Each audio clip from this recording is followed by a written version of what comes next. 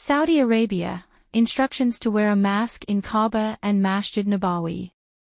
Riyadh, in Saudi Arabia, the supervisory body for the affairs of Masjid al-Haram and Masjid al-Nabawi has issued medical instructions keeping the weather change and the health of pilgrims as a priority. According to the World News Agency, the blessed month of Ramadan has arrived and a record number of pilgrims from all over the world are reaching Saudi Arabia, while it is also the season of flu, cold and cough diseases at the global level.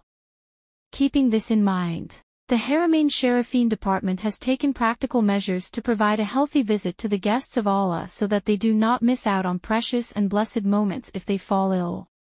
In the statement issued by the institution, it has been directed that if any of the pilgrims coming to Saudi Arabia is suffering from a cold, cough or flu, they must wear a mask while taking care of the health of others.